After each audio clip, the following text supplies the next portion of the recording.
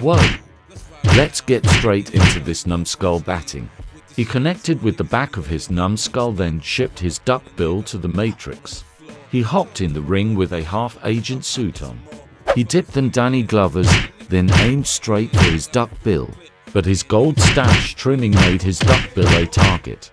He fell numbskull first in the canvas and became the crease man logo. The wrath of the creasing was upon him. The ref said don't lie he just batted the piss out you. He was pissy punch drunk on that stupid juice.